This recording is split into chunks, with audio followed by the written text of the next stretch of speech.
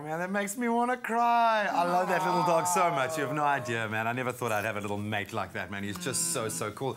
But of course, you are our mates this morning. We want to hear from you in our culinary hotline 0214309886. That's the number to dial. We've got uh, Nazim on the line right now from Cape Town as well. Good morning. How are you?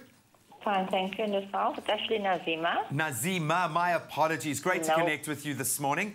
No problem. I've got a question for Zola. Yes. I love, love, love lasagna. Oh, yeah. But the cheese is always chewy. No matter what sheets I buy, what I do, I don't know what I'm doing wrong. Mhm. Zola, you look like you know. I know because You know. Do you know what? O- oily cheese, like something like Gouda or cheddar, when you cook it for such a long time with lasagna, it seeps its oil out, and that's why it becomes really chewy. So here's my recommendation: between the layers, use Parmesan cheese. Okay. I know, I know. Like everyone's like, what? What? Yeah, That will be use Parmesan cheese, and actually, here's a shortcut. If you don't feel like making um, the white sauce, the bechamel sauce, Yeah, yeah. use ricotta cheese. Wow. Mike's dropping everywhere. There are hacks just going. This is this is a hack session. There are hacks that. flying I know, all absolutely. over the place. So, and then your cheese, your strong cheese. So, like if you want to use uh, cheddar cheese because it browns really nicely And it on the tastes top, like a- cook your lasagna covered with foil. Then only near the end, take it off so that the harsh heat can brown it Can and make it all crispy. yeah. Exactly. Then the oil won't seep up so, out so much. And that's what makes it chewy. I understand. I understand that problem. It's a problem lots of people have. Yeah, But I love pain. lasagna, whether the cheese is chewy, whether it's not. I'll actually eat still myself sore on lasagna. Me It's one of those foods, you Me know, too. I'll- It's a- I'll- it's I'll hurt myself. My greediness I know. comes out with lasagna. So I'm glad that we had someone um, asking a conundrum relating to Mm. cheese because that kind of ties into our next question coming in online. Um, and this comes from Elizabeth Lambert or Lambert. We will call you this morning. Hello, team. My hubby doesn't eat cheese. Ah, shame. Oh, the pain is real.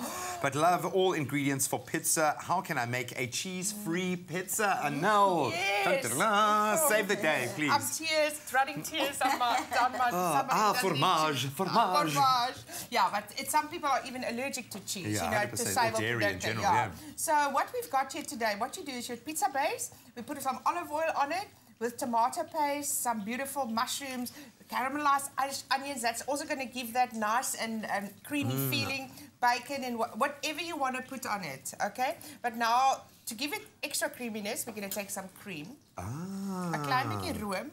Okay, so this is specifically not, not dairy. We're talking about removing the cheese. cheese, removing okay? the cheese. So what we've done here, a bit of pepper, a bit of salt. Because again, it's that, that craving is part texture, part taste. Absolutely. Yes. So when you're eating a pizza, you don't want it to feel dry or feel too Yes, crunchy. You need there that balance, you Yes. know? Absolutely. And if you want a crunchiness, what I've done before is like cut a potato very, very thin. And so what I will do, I will put a bit of this cream, sprinkle it on top. And then what I'll do, I'll cut some potato very thin and put it on top so it it like top. crisps up.